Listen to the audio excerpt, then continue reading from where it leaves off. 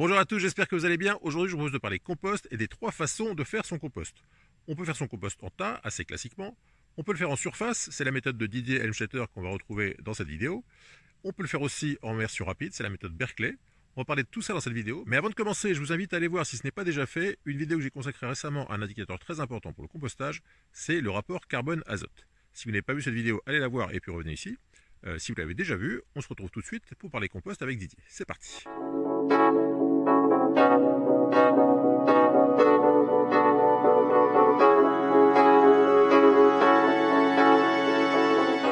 Voilà, donc on se retrouve avec Didier Alloustateur du potager du Parisé. Bonjour Didier. Salut. Et pour commencer, le plus simple, c'est de commencer par une définition. Euh, le compost, c'est, euh, pour définir un peu ce que c'est que le compost, c'est la comment faire, enfin, la meilleure façon de dégrader de la matière organique pour en faire un bon amendement et un bon euh, un petit fertilisant pour le sol, donc pour améliorer la qualité du sol. Est-ce que c'est une définition qui te convient? Alors, oui et non. Hein. Donc là, on est sur le compostage en tas. Euh, c'est cette inspiration-là. Pour moi, euh, alors je ne parle pas pour, mais c'est du chipotage. Hein.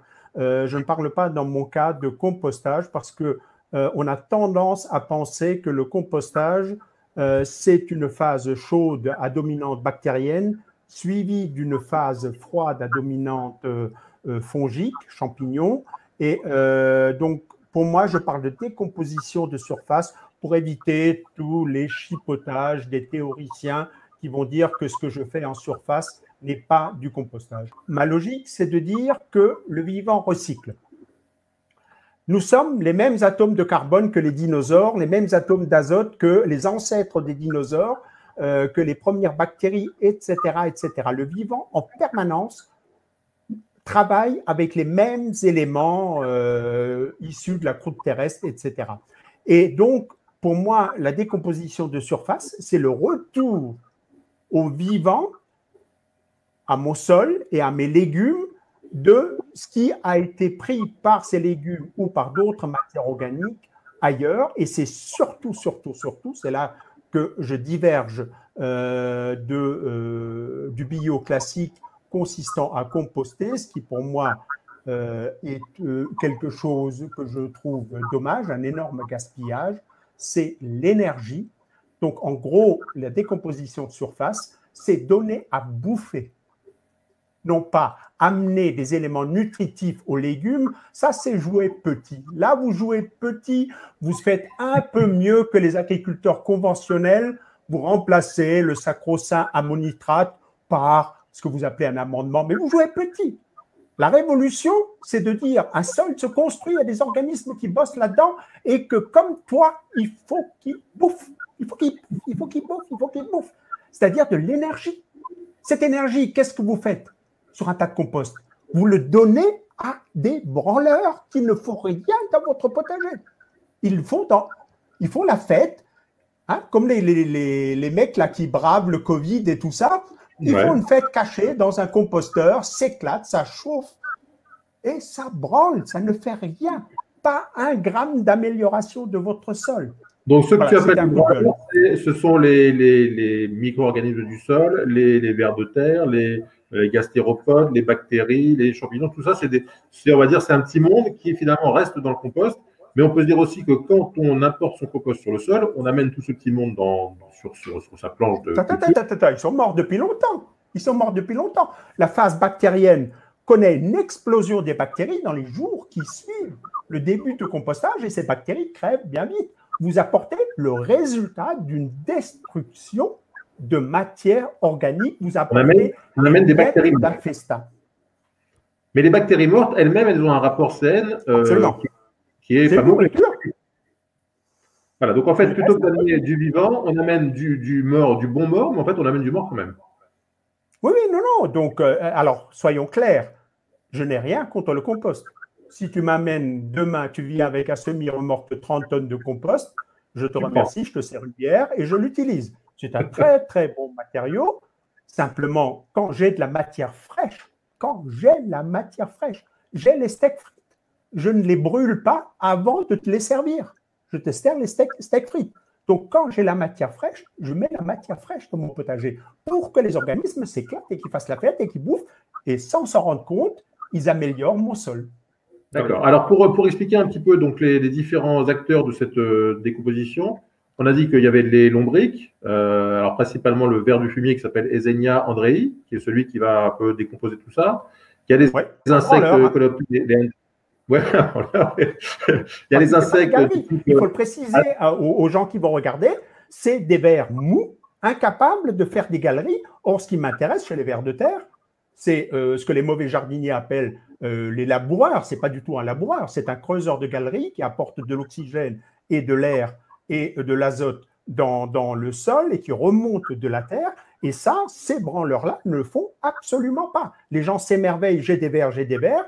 C'est très simple. S'ils les voient, c'est que c'est des branleurs parce que les, les vrais vers, les anéciques, ne sortent qu'à 11 heures du soir. Et là, le jardinier, il regarde la télévision. bon, alors pour continuer sur les, les, composantes de ce compost, on a donc des coléoptères, on a souvent des hannetons et des cétoines qui se baladent dans le, dans le tas on a des cloportes, on a des myriapodes, on a des mille-pattes, on a aussi alors euh, tout ce qui est euh, gastéropodes, les limaces, les escargots, qui sont un peu plutôt à l'extérieur. Et puis parfois, on a aussi des, gens qu'on n'a pas envie d'avoir, c'est les rongeurs. On a les campagnols, les, rats, etc., qui viennent s'installer dans le, dans le tas de compost. Pourquoi vous compostez Chez moi, mon chat, il passe. Comme, euh, comme il y a une couche de 20 cm, le chat les chope. J'ai pas de rongeurs. Ouais. Alors, ce qui est étonnant quand même, c'est que alors le compost, déjà, au, niveau de l'origine du mot, c'est un, un ancien, l'ancien français. Ça veut dire tout ce qui est mélangé, tout ce qui est mêlé. D'ailleurs, ça donnait aussi compote. Euh, et c'est un truc qu'on fait depuis euh, plus de 2000 ans. Le, compost, c'est une pratique très, très ancienne. Et euh, comment tu expliques qu'on le fasse depuis aussi longtemps et que, alors, est-ce qu'on peut se tromper depuis 2500 ans? Absolument. On laboure depuis 300 ans. On travaille la terre depuis 2000 ans. Euh, donc, euh, on peut se tromper, bien sûr. On, a, on, découvre, on est juste au début des découvertes euh, de, des, mécanismes biologiques du, sol. Dans mon premier livre, il y a une phrase qui, je t'invite à relire. on a envoyé trop de sondes sur la Lune et sur Mars. On ne connaît pas nos sols. Un sol se construit. L'homme est resté depuis qu'il est ostrogoth ou néandertalien il, a, il est arrivé dans une terre qui était hostile, et je le comprends. Des forêts partout, des loups, des ours, etc. Donc, il est en lutte contre le vivant. En 2000, il reste en lutte contre le vivant. Son premier truc, c'est de détruire au lieu de construire avec les organismes vivants du sol. Donc oui, il brûle de la matière organique, un compost, c'est une combustion moins rapide que s'il y a des flammes, mais c'est une combustion et donc, c'est juste un petit progrès par rapport à ce que j'ai vu encore tout à l'heure, un, nuage de fumée sur le versant en face, quelqu'un qui nettoyait son jardin, qui trouvait intelligent de brûler. C'était un moine du Moyen Âge qui était en train de ravager la forêt, alors que aujourd'hui, il serait quand même temps de trouver un tout petit peu de sympathie pour le vivant et un tout petit peu de capacité à coopérer avec le vivant. Sinon, on va crever. C'est aussi simple que ça. Y compris en compostant. Hein. Bon, espérons que ça ira mieux quand même. Alors bon, il y a, bon, c'est vrai qu'on peut se dire pourquoi pas effectivement composter en surface, ça a l'air plus euh, efficace. Euh, après, il y a le côté pratique. Euh, c'est vrai que quand on a un composteur où on peut faire quatre palettes, si on a un peu bricoleur, on va prendre quatre palettes et puis les mettre ensemble on va les mettre pas trop loin de sa maison et ça va être pratique de mettre ces déchets organiques dans ce composteur. C'est pas, pas toujours facile d'aller mettre euh, chaque jour tous ces déchets euh, organiques en, tas. Il y a un côté esthétique aussi. Euh, peut-être que les gens n'ont pas forcément envie d'avoir des tas de, de, de, légumes, de d'épluchures qui traînent. Alors on peut les masquer avec un peu de foin par-dessus. mais disons qu'il y a un côté pratique au compostage classique. pratique, je ne dirais pas, hein, parce que moi, je descends dans mon potager et je balance mon seau à droite ou à gauche esthétique, ça, je l'accepte. Hein. On a eu chez nous un divorce potager. Laurence trouvait ça dégueulasse au début, hein, il y a 6-7 ans. Moi, je trouvais ça tout à fait normal de nourrir le vivant. Et donc, pendant un an, si c'est moi qui chopais le seau, les choses volaient en surface à gauche. Si c'est elle qui chopait le seau, c'était dans le composteur à droite. J'ai quand même l'outrecuidance d'annoncer que c'est moi qui avais raison au bout d'un an. Et là, trouvé, un, ça ne puait pas. Deux, ça n'attirait pas les, euh, les rongeurs. Trois, que ça donnait des résultats formidables au niveau de l'état de mon sol. Et donc, elle a commencé, elle aussi, à balancer à droite. Bon. Alors c'est vrai que l'argument qu'on entend parfois, c'est de dire oui, si je mets des, déchets sur mon sol, ça va attirer toute la, vermine du secteur. Tout le monde va venir, les, rats, les campagnols, les limaces, les escargots, tout le monde va venir se nourrir sur la bête. Toi, tu, tu penses que ça ne pose pas de problème? Bah, C'est étalé beaucoup moins qu'un composteur. Sous le composteur, tu l'as dit toi-même, il y a les rongeurs. Euh, ça m'étonnerait que dans un coin où il y a des râteaux-pieds, il n'y ait pas des nichés de râteaux-pieds sur ton composteur. Il fait chaud euh, ils sont un peu protégés de la pluie et par conséquent, euh, de façon tout à fait naturelle, un certain nombre d'emmerdeurs vont s'installer sous le composteur. En surface, eh ben, ils sont exposés aux chats, aux renards, aux orvets, aux serpents la nuit, à plein de... Donc, non, non, un jardin comme ça étalé, comme le mien, 900 mètres carrés, c'est hyper dangereux pour, pour un rongeur de s'aventurer là-dedans il se fait niaquer dans la minute qui suit. Oui, il est moins à l'abri que dans un composteur bien fermé. Et bien, Absolument. Euh, Donc, toi, tu recommandes le compostage en surface. Maintenant, pour ceux qui veulent, euh, à qui ça ne plaît pas, qui n'ont pas envie, il y a la possibilité de faire soit un composteur avec quatre palettes, soit d'acheter un composteur en plastique. Mais ça, je trouve ça un peu dommage d'aller mettre du plastique, euh, d'aller acheter du plastique pour le mettre dans son jardin. bon. Il y a la solution basique avec des poubelles. On peut se dire, je prends deux poubelles percées, je mets dans la poubelle, et puis dès que j'ai la possibilité d'aller au jardin, j'emmène un poubelle de déchets au jardin. Donc il y a différentes solutions. On n'est pas obligé d'aller acheter le, composteur en plastique, qui est vraiment la, dernière des solutions, on va dire. Bah, ce qui me paraît le plus efficace, parce qu'il faut quand même faire très, très attention à euh, l'aération. La plupart des gens qui m'ont montré leur composteur, euh, ça sentait mauvais. Euh, entre autres parce que ce n'étaient pas des composteurs, mais des pourrissoirs. Et il ah est important que les gens comprennent la différence entre un composteur ou un compostage et un pourrissoir et le pourrissement. Euh, pour qu'un compost se passe bien, il est absolument indispensable qu'il y ait l'aérobiose, c'est-à-dire que l'air arrive jusqu'au cœur du composteur. Et donc, euh, ça veut dire euh, remuer, etc.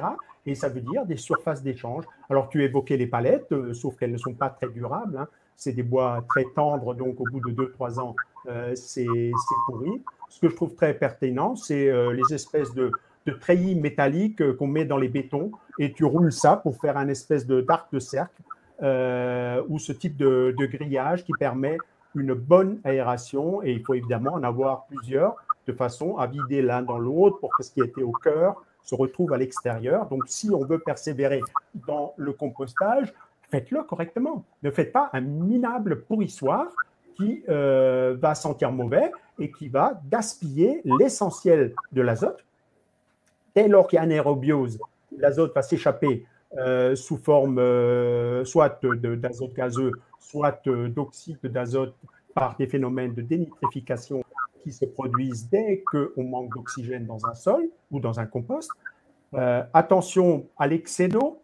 Sais-tu que le potassium, qui est un élément quand même important, n'entre pas dans des, composés, dans des composés moléculaires, il, il circule dans les cellules.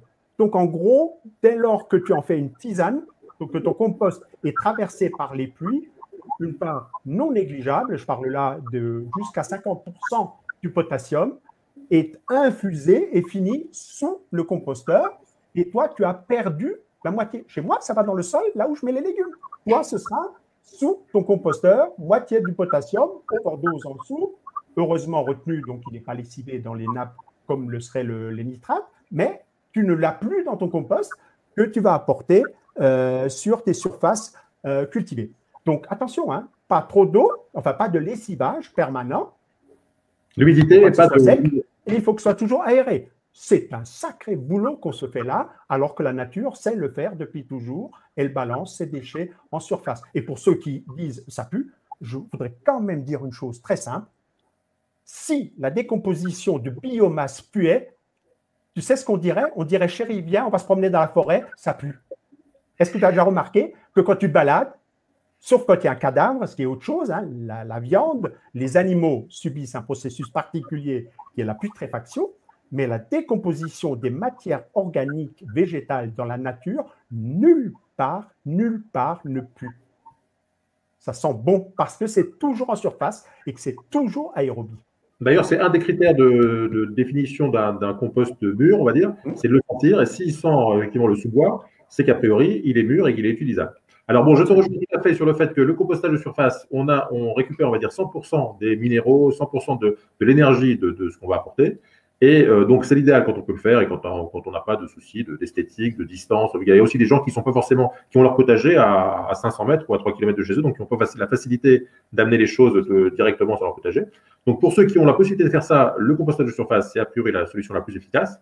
Pour les autres, alors comme je disais, on a les, palettes. Alors, les treillis soudés, c'est des, choses qu'on peut acheter pour 3-4 euros en magasin de bricolage.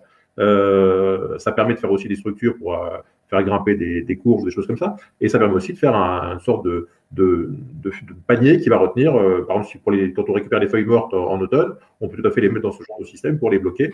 Et donc, voilà, il y a différentes solutions, hein, les palettes, les treillis soudés, euh, les, les poubelles percées.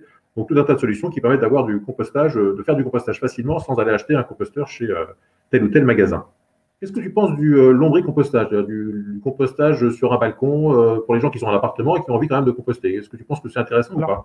Alors après, hein, euh, donc après ce coup de gueule contre le, le, le, compostage, tu me connais un tout petit peu, tu sais que mes coups de gueule, c'est surtout les modes, c'est l'absence de pensée, l'absence de, de, de, réflexion. Ma pensée, heureusement, est quand même un tout petit peu plus nuancée que mes coups de gueule.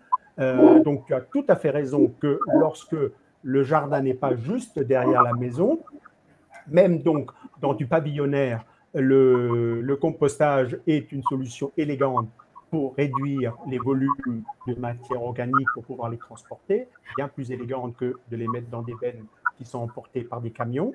Et dans des situations extrêmes que tu évoques, euh, qui sont donc euh, l'habitat très très concentré, les immeubles avec des gens empilés, bien entendu que euh, le lombricompostage permet de, euh, comment dire, de se débarrasser du carbone que les plantes trouvent facilement en gardant sous une forme liquéfiée l'essentiel des éléments nutritifs qui retournent dans les cycles vivants.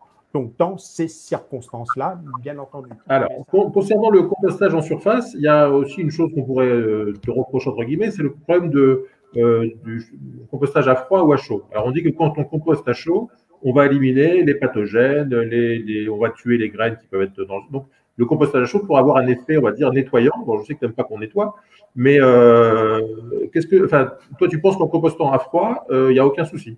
Le compost familial, je n'en connais aucun, aucun qui ait un rôle stérilisant. C'est un fantasme pur parce que pour stériliser, il te faut maintenir 60 degrés environ peut chipoter 60, 65 pendant minimum deux heures. Trouve-moi, fais le tour de France et trouve-moi un compost. Je parle de compost familiaux individuels. Amateur, oui. 60 degrés, c'est très simple. Je dis ça aux gens qui vont regarder cette vidéo. Tu mets ta main et si tu peux la garder 5 minutes, c'est pas 60 degrés. Si à 60 degrés, tu mets ta main, tu restes plus d'une minute, tu as une brûlure de premier degré. Et là, effectivement, de même que les cellules de ta peau sont cramées, les bactéries, les champignons, les spores, les ceux-ci, les ceux-là, les vers de terre, les saloperies euh, seraient désinfectés. Et, le pourtour de ton compost, etc. Donc, ça, c'est un fantasme, c'est un rêve, c'est ce que j'appelle les réflexions canard baissé, il faut que ce soit propre. Un jardin doit être dégueulasse et il y aura des équilibres dans lesquels il y aura bien sûr de temps en temps, parmi 10 000 bactéries, une qui sera une emmerdeuse, avec d'autres qui lui tomberont sur le rable.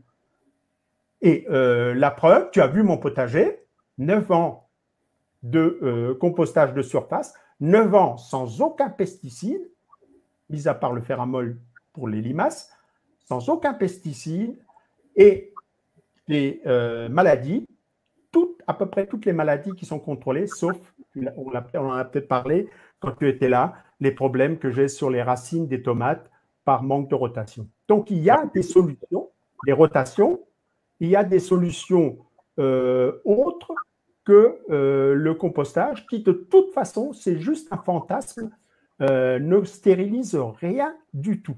Mais alors, rien. Alors, alors, ce qui se passe aussi par rapport à la température, c'est le, le, volume du tas. Si on a un tout petit tas de compost, il ne peut pas chauffer. On dit que pour faire un, arriver à une taille critique qui permette de chauffer, il faut au moins faire 1 mètre cube, voire 1,5 mètre cube. Et c'est vrai qu'avoir 1,5 mètre cube de déchets à composter, c'est pas donné à tout le monde. Pas en une fois, quoi, hein, en sachant que la, fermentation commence dès que tu mets dans ton composteur, tu viens avec ton seau de déchets, la fermentation commence le lendemain, quoi. Hein. donc, euh, avoir un mètre cube, et c'est pour ça que effectivement, tu as vu que j'étais précis. J'ai parlé de composteurs familiaux individuels. Les plateformes de compostage où arrivent des camions de matière organique, où on traite ça euh, avec des mélangeurs où ça chauffe. Et quand tu vois une plateforme, c'est très beau parce que tu vois, quand il fait frais en hiver ou en automne, tu vois la fumée justement parce que tu as un phénomène tout à fait comparable à ce qui se passe dans un fumier. Tu as des sondes thermiques, tu as un recueillement des jus, les, phénomènes de percolation des potassiums sur une plateforme bien faite, il le gère. Il y a une rigole centrale et les jus sont réutilisés pour humidifier euh, le, tas, donc sont réinjectés dans le tas et ne vont pas dans les nappes. Donc le compostage bien fait euh, est une solution pertinente, y compris, dans ce cas pour euh, stériliser. Ce que je regrette d'ailleurs, parce que du coup, on a des terreaux dans lesquels il n'y a plus de germes des mycorhizes, et quand tu prépares tes plants, ils ne se mycorhizent pas si tu ne mélanges pas de la terre du jardin avec. C'est quelque chose à quoi on ne pense pas. Euh, on prend des terreaux de semis stériles parce que les maladies, et du coup, ben, on a bien sûr la garantie de ne pas avoir les maladies, mais manque de bol, on n'a pas non plus le bon côté, toutes les bactéries vivantes, les fameuses PGPR, tous les, les champignons utiles, notamment tous les champignons mycorhiziens, etc. Donc la stérilisation, c'est une arme à double tranchant, c'est je pense que c'est une question de peur. Les jardiniers ont peur. Les jardiniers ont peur. Et donc, du coup, ils se privent des forces même du vivant. Ils préfèrent la stérilisation. Et donc, ils auront des légumes qui n'ont pas beaucoup de goût. Donc, ils auront des choses qui ne s'équilibrent pas naturellement. Et ils seront tout le temps, tout le temps en recherche de quelque chose qui va, euh, soi-disant, être le, Graal. Mais si les parasites étaient aussi euh, dramatiquement dangereux, on ne serait pas là. Ah, moi, je voulais parler du compostage et du rapport carbone-azote carbone azote euh, dans un composteur classique. C'est vrai que si on fait du compostage de surface, on n'a plus trop à s'inquiéter de tout ce qui est euh, rapport carbone-azote. On met un petit peu au, feeling, on met les, déchets comme ça, comme ça vient, et on s'inquiète plus trop de savoir si on a du carbone ou pas. Là, on met et puis on voit ce qui se passe. Non, non. Donc il faut effectivement moyenner un peu. Alors, en général, ce qu'on va appeler euh, déchets organiques euh, ménagers, on est plutôt dans le trop riche, mais euh, lorsqu'on a une surface qui est suffisante, je parle là de 100 mètres carrés, il faut savoir que c'est rien du tout. Tu fais des calculs, n'oublie pas que ton seau de déchets, c'est 95% d'eau flotte. Tu pars avec 3 kg de déchets et tu as 150 grammes de matière sèche. Donc, ce n'est pas du tout un problème. Moi, j'ai calculé dans mon potager par rapport euh, aux apports de foin que, que, je fais, c'est même pas 7-8% euh, de la biomasse sèche que, que j'apporte. Donc, j'ai un très gros potager. Mais euh, disons, il faut éventuellement, par exemple, tu vas utiliser des feuilles mortes en ce moment, qui sont plutôt du côté de 50-60 de, de C sur N, donc un peu trop pauvres. Donc, tu les mets à l'automne, très bien, puisque tu ne veux pas qu'il y ait de, nitrite, de nitrate qui finissent dans les nappes d'eau, très bien. Mais au printemps, tu sais que tu es pauvre, et alors, ben, qu'est-ce que tu fais? Tu balances deux ou trois fois de suite, à 10 jours d'intervalle, des tontes de gazon en couche fine, et tu corriges le principal défaut de cette matière. Si on t'a offert un ballot de paille, ou tu n'as pas trouvé de foin, tu as pris un ballot de paille, tu mets cette paille, tu sais que tu es trop pauvre, donc tu essayes de trouver euh, des tontes de gazon. Au pire, quand tu as une trop grande pauvreté en azote, ça se gère relativement facilement. L'urine ou les engrais azotés, qui peuvent être bio. Hein. donc, euh, tu balances. Euh, encore une simple règle de 3, tu corriges. Si tu ne trouves vraiment pas de tonte de gazon parce que tu n'as plus de gazon, tu cultives absolument tout tu as de la chance, tu as ramassé euh, un camion de feuilles mortes, tu balances ces feuilles mortes et tu vas t'acheter la quantité qu'on peut facilement calculer euh, d'engrais azotés pour apporter l'azote par le haut de façon à ce que ces saloperies de bactéries qui transforment cette biomasse n'aillent pas le piquer par le bas. C'est aussi simple que ça. D'accord. Alors, euh, il y a aussi, alors, on a dit, l'idée, c'est d'équilibrer le plus possible le carbone et l'azote. Euh, il y a aussi des choses dont on dit, parfois qu'elles ne sont pas autorisées. Par exemple, on dit qu'il ne faut pas mettre de viande, de poisson euh, pour, dans le compost parce que ça pourrait attirer les rongeurs, faire des, faire des mauvaises odeurs. toi, tu mets tout au compost, tu, mets tout à composter il y a des choses que tu ne mets pas? Ah non, non, donc effectivement, alors déjà, bon, la viande, on essaie de ne pas la gaspiller ou les poissons, donc les, parce que là, effectivement, on n'est plus du tout dans les mêmes processus euh, alors, ça n'a rien de dramatique, euh, si ce n'est effectivement mauvaise odeur puisque putréfaction. Un cadavre, naturellement, il sent. Hein. donc, on sent quand tu te promènes, dans une forêt qu'il y a un cadavre à proximité. Euh, donc, ça, cette mauvaise odeur et ça attire là, cette mauvaise odeur, un certain nombre d'emmerdeurs, hein, de, nuisibles, etc. Mais sinon, c'est une source très importante d'azote. Hein. donc, ça pourrait être une façon euh, de compenser un rapport C sur N trop élevé. Mais euh, moi, je ne le fais pas. Alors, ça peut arriver que euh, jour, il y ait un, petit reste de ceci ou de cela qui, file au, potager, mais quand on parle de déchets, c'est quand même essentiellement à 99% des déchets organiques végétaux. Pour cette raison-là, moi, je ne craindrais pas trop, hein, euh, très franchement. Euh. alors, on dit aussi que, parfois qu'il ne faut pas mettre les agrumes, il ne faut pas mettre les algacées. Est-ce que tu as des, des conneries monumentales. Ça, c'est les conneries. Alors, ça, euh, j'ai filmé dans une de mes vidéos. une, alors, je, je, mange beaucoup d'agrumes, vitamine C. J'essaye de me maintenir jeune comme je peux et de lutter contre le Covid comme je peux. Euh, donc, je mange des quantités importantes euh, avec euh, mon épouse. on mange des quantités importantes d'agrumes, tout, tout, tout fil. alors, on va te dire que c'est acide. Ça te montre à quel point les gens sont ignares et ne réfléchissent pas et qu'on peut leur raconter n'importe quoi, ils gobent.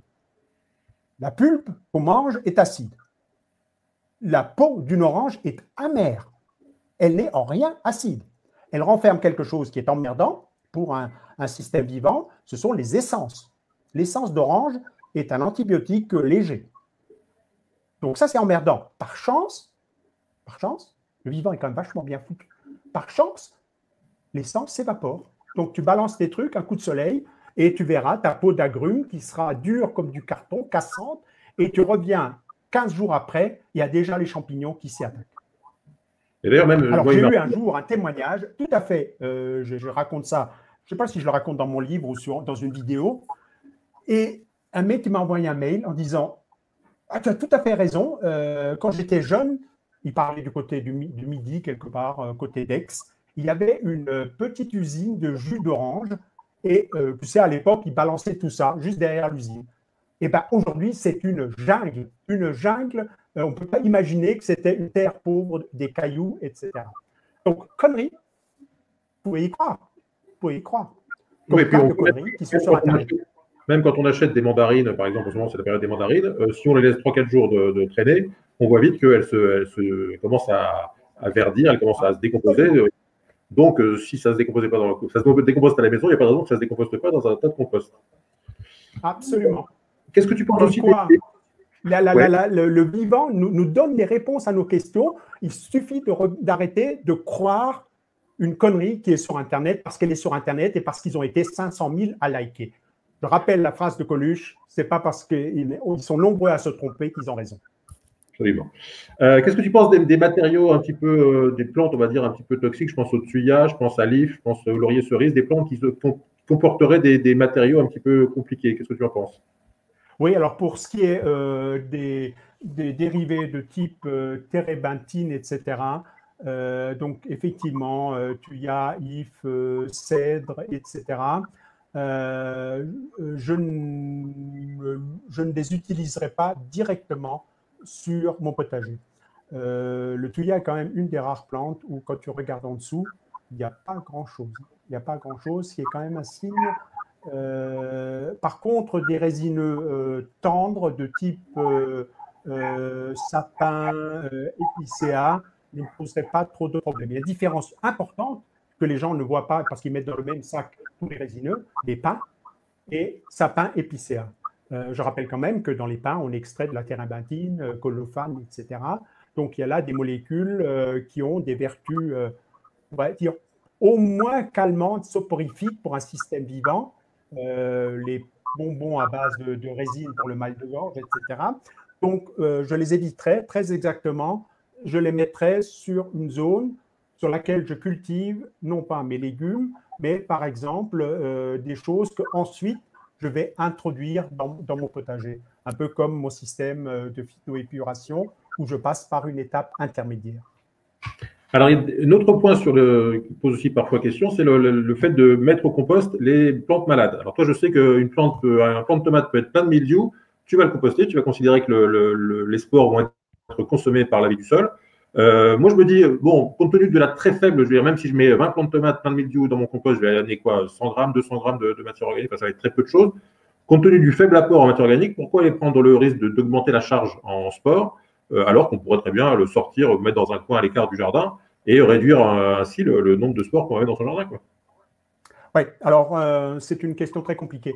En, deux minutes, le mildiou fait une forme de sport dont c'est la vocation que de résister durant la, mauvaise saison pour recontaminer et relancer les cycles euh, durant la saison euh, suivante. Donc celle-là, je ne suis pas du tout certain que dans mon système, elles disparaissent euh, le temps d'un hivernage, d'autant plus que je viens d'expliquer que l'hiver, eh ben, tout ça, ça roupille, hein, les, organismes, etc. Non, la logique est un peu plus compliquée.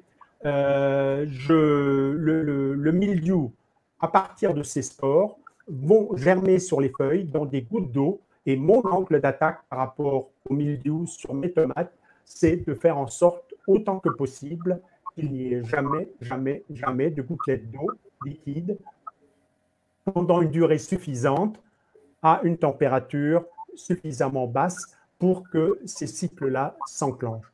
La couverture de foin que je mets aussi euh, avant de planter mes tomates au, printemps. je mets une couverture de foin épaisse au printemps, qui a plein d'autres fonctions, va aussi faire en sorte que euh, il n'y ait pas de contamination par le bain. Donc, je ne dis pas que euh, le système va nettoyer en six mois, les maladies n'existeront plus. je dis qu'il faut attaquer le mildiou là où il est faible, c'est-à-dire dans son besoin d'eau. Je rappelle Beaucoup de gens le prennent pour un champignon. Je rappelle que c'est un oomycète, c'est-à-dire un cousin de ce qu'on appelle les algues brunes. Euh, donc, c'est plutôt, du point de vue génétique, une algue qu'un champignon. Et ça explique son tropisme pour la flotte. Ok, mais tu ne m'as pas répondu sur le fait que quel est l'intérêt de garder de, la, une grosse charge de sport avec, en, mettant, les plants infectés sur le sol, alors qu'on pourrait, même s'il en restera énormément, mais en exportant ces, plants malades, on va quand même réduire le nombre de spores présents. Et donc, euh, même si ensuite on fait le traitement qui va bien, mais euh, si on peut sortir un maximum de, charges, pourquoi les garder quoi? Oui, apparaissent. Dans mon cas, la réponse est très simple. Elles apparaissent et que c'est euh, pour moi mineur. Il faut savoir qu'une plante, elle est bombardée tous les jours, tous les jours, par des millions et des millions et des millions de spores. Si on pouvait voir ça, c'est Dresde dans ton potager tous les jours de l'année, enfin de l'année, de la saison de croissance, et penser qu'on peut stériliser son potager. Attends, déjà, dans les hôpitaux, ils n'arrivent pas à, échapper aux maladies nosocomiales. Et toi, tu voudrais que dans ton potager, ce soit propre? Mais il faut arrêter de, de, délirer. Pour moi, ça n'a aucun sens. Autre chose concernant le, compost, euh, souvent on l'assimile à de l'engrais. Alors en fait, un compost, il n'est pas tant que ça riche en, NPK, c'est plus un amendement qu'un engrais. Euh, il faut prendre à la base un compost bien fait qui n'a pas été lessivé comme une tisane. C'est le retour des éléments qui étaient contenus dans ces légumes, donc ces légumes ont prélevé là où ils ont poussé. C'est le retour dans ton sol de ces éléments, ni plus ni moins. Donc c'est un recyclage euh, et qui va dépendre donc strictement de la quantité, en sens sensu stricto. Si tu vis en autonome sur ton potager et que tu remets tout, si tu avais un sol pauvre, tu vas recycler la misère, et si tu as un sol riche, tu recycles la richesse. Et donc, attention, attention, euh, si tu as un sol carencé, je prends un exemple, sol carencé en soufre, et si tu n'importes pas, tu ne vas jamais chez Biocop, euh, tu n'achètes pas de, produits à l'extérieur, et eh ben, tu vas recycler ta pauvreté en soufre, puisque tu n'apportes rien d'autre que ce que la plante a prélevé. Et comme ton sol était carencé en soufre, la plante était carencée en soufre. En soufre, donc c'est aussi un recyclage de la misère. Donc effectivement, il ne faut pas surévaluer. Euh, dans mon premier bouquin, il y a le tableau. Hein, euh, les composts, disons, euh, moyens, ce qu'on appelle les composts urbains, sont plutôt plus pauvres que le foin. D'accord. Donc, c'est bien le truc de. Toujours, hein, je précise, à la tonne transportée. Voilà, donc il ne faut pas prendre le, compost pour euh, un fertilisant formidable. C'est, on va dire, ça améliore le sol, ça apporte un certain nombre de nutriments, mais ce n'est pas un super engrais, ce n'est pas du 20-20-20. Ouais. Sauf à mettre des quantités euh, phénoménales. Quoi, hein. Donc, si tu es, si as l'entreprise de, de transport public, si tu as une plateforme de compostage à côté, si surtout ton potager, tu peux baigner 30 cm ou 25 cm de compost, c'est sûr que ça va chiffrer. Quoi, hein. ah, ça va booster, euh, alors, on va terminer avec l'entretien du compost. Donc, on a dit qu'un compost, pour bien euh, se développer, il a besoin d'air. C'est pour ça qu'il y a une méthode dont je parlais tout à l'heure, qui est la méthode Berkeley, qui consiste à euh, aérer, tourner le, compost quasiment tous les deux jours pour toujours lui donner de l'air. ce qui est important aussi, c'est de toujours garder une certaine humidité, mais sans que ça soit non plus détrempé. Il faut garder un peu d'eau, mais pas trop. Il ne faut pas qu'il soit en plein soleil pour pas sécher, parce que la vie du sol a besoin d'une température douillette et pas d'être en plein cagnard. Euh, il faut une bonne température, hein, c'est entre 15 et 25 degrés, puisque en dessous de 15, 15 degrés, la, vie s'arrête, et puis au-dessus de 25, c'est pareil, c'est un peu de mal. Il faut que le pH soit euh, stable, enfin, qu'il soit, on va dire, euh, autour de 7, parce qu'on sait que les bactéries, dès que le pH devient un peu trop acide, les bactéries ont des soucis. il faut que, donc, comme on l'a dit, qu'il y ait l'équilibre entre le carbone et l'azote en permanence. Il ne faut pas qu'il y ait trop de sel. C'est pour ça que, par exemple, la charcuterie se conserve bien parce qu'il y a beaucoup de sel. Euh, donc, on voit qu'il y a quand même pas mal de conditions qui, qui nécessaires pour que un compost aille bien finalement. C'est pour ça que parfois, il y a des composts qui sont un peu en perdition au fond du jardin, parce que si on n'apporte pas tous ces éléments à un compost, eh ben, on finit par avoir un truc qui a du mal à, se développer. Quoi. C'est réaliser des conditions euh, relativement optimales pour les principaux organismes vivants, bactéries, champignons, vers en l'occurrence plutôt vers l'ombricomposteur, hein, plutôt Esénia que euh, les anéciques, euh, éventuellement euh, les colamboles, etc. Et donc, on revient toujours à la même chose. Là où il fait froid, là il fait trop chaud, là où il y a des croûtes de sel, on a le désert. C'est les seules conditions sur le globe où la vie n'arrive pas à prospérer. Et donc, il est évident qu'il euh, ne faut pas réaliser dans son tas de matière organique des conditions qui s'apparentent, de, euh, qui s'approchent de l'une de ces situations dans lesquelles euh, le vivant est rachitique ou, ou absent.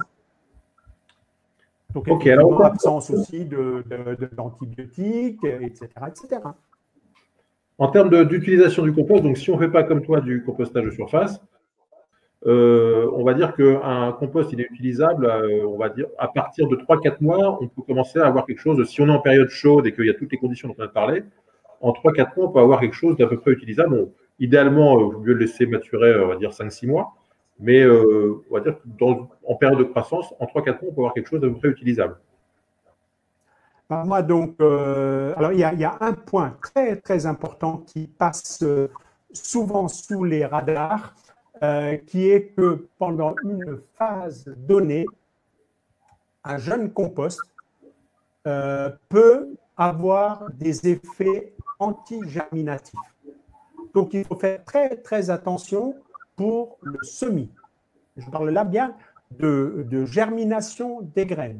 Une fois que la graine a germé, tu la plantes là-dedans, ça n'a plus aucun effet. Mais il y a donc un effet euh, anti-germinatif euh, lié à la phase de champignon, a priori, euh, durant la phase froide du compostage, certains champignons qui se développent dans certaines conditions euh, de ce compost émettent des antigerminatifs et tu sèmes dans ce compost et rien ne poussera. C'est un problème que j'ai aussi dans mon compostage de surface. À certains moments, je coupe des sillons et euh, donc je ne suis pas du tout débarrassé de ce problème euh, et ça ne, ça ne germe pas. Mais en dehors de ça, euh, effectivement, le, compost, s'il est peut évoluer, va plutôt être encore une matière organique relativement fraîche qui va avoir un effet extrêmement stimulant sur la vie du sol. Et plus la dégradation s'est avancée en tas, et donc plus on est vers quelque chose qu'on va appeler un compost mûr, et plus on évolue vers quelque chose qui n'aura pratiquement plus d'effet stimulant sur la vie du sol parce qu'elle s'est déjà produite dans le tas, tout a été bouffé, et donc il n'y a plus rien à bouffer, donc pas d'action sur l'activité biologique du sol.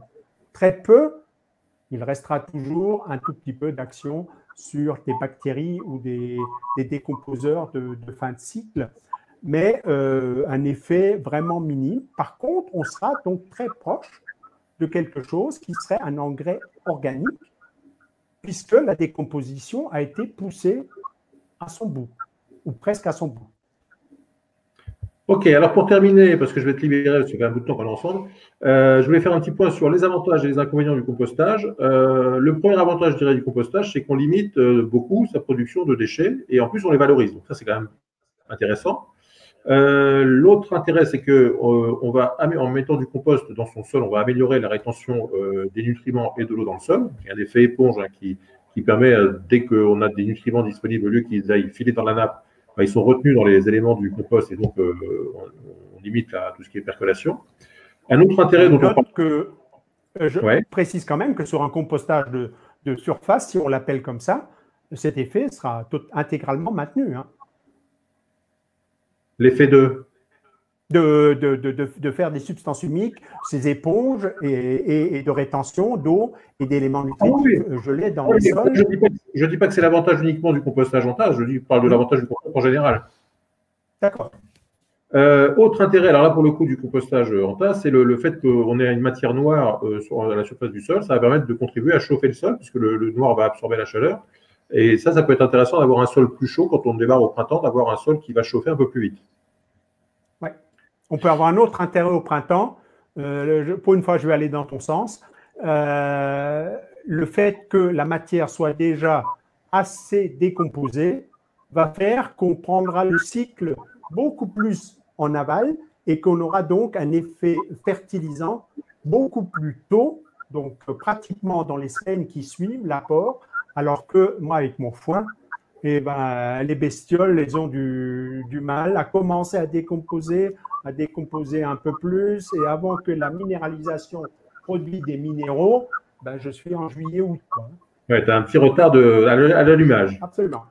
Euh, autre intérêt du, compost, c'est que ça permet de produire une sorte de, terreau, son propre terreau. Donc ça, ça peut être pas mal. Euh, et puis on a vu le côté un petit peu engrais bio, naturel, gratuit. Donc ça, c'est aussi intéressant. Euh, les inconvénients, on va dire que s'il est mal fait, s'il n'est pas bien aéré, on peut avoir des problèmes d'odeur, euh, on peut avoir des rongeurs, on peut avoir des moucherons, euh, ça prend un peu de place. Enfin, les inconvénients sont quand même assez minimes, que ce soit en surface ou en tas. Il y a quand même beaucoup plus d'avantages à faire un compost que d'inconvénients. Oui, oui. alors, tu, tu évites le moucheron. Tu sais que la fameuse drosophile de Suzuki, hein, celle qui s'attaque aux fruits rouges, euh, euh, est arrivé de mémoire en 2004 en France et, maintenant a envahi toute l'Europe, euh, notamment parce qu'elle trouve dans les composts un relais très très facile. Il y a toujours un point chaud avec des matières organiques qui se décomposent. Et donc, les gens qui se sont préoccupés de ça, notamment Hervé Coves, est persuadé que c'est un des facteurs qui a favorisé la, propagation rapide euh, de, de, ce parasite. Mais oui, il y a, et mis à part le travail, il n'y a pas de véritables inconvénients ou ils sont mineurs, on est bien d'accord.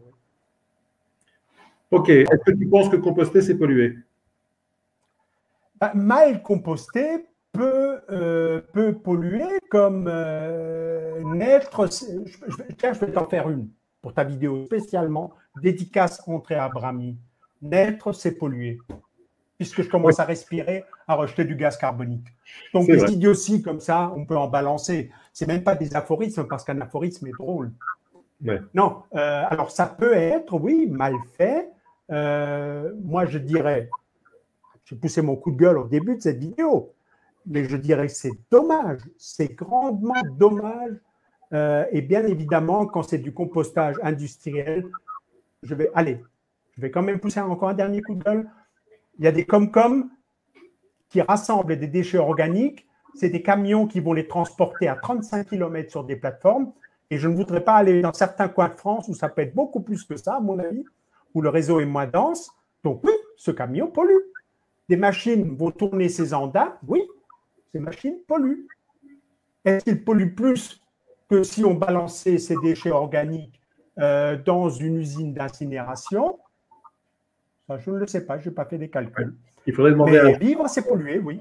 Il faudrait demander à Jean-Marc Jancovici qui nous fasse le bilan carbone de la fabrication du compost. Voilà, ben, en tout cas, merci beaucoup pour tous ces, tous ces commentaires sur le, rapport euh, CN, le rapport carbone azote et puis euh, le compost. Euh, ben, je, je, pense qu'on a fait un peu le tour de la question. un grand merci à toi pour ce, cet échange. Et puis, euh, bah, j'invite évidemment tout le monde à te retrouver sur ta chaîne en version encore plus longue. Là, on a fait long aujourd'hui, mais sur ta chaîne, c'est encore plus long. On a encore plus de détails. Euh, en tout cas, un très grand merci à toi pour cette, euh, cet échange. Ok, allez. Ciao. Salut Didier. Voilà, si vous aimez ce genre de vidéo un petit peu dans la longueur, n'hésitez pas à mettre un petit pouce bleu sous la vidéo. Si vous avez des questions, des commentaires sur le compost, sur le rapport carbone-azote, les commentaires, c'est juste en dessous. Et puis si vous n'êtes toujours pas abonné, je compte sur vous pour nous rejoindre très très vite. A bientôt pour de nouvelles aventures. Bye bye.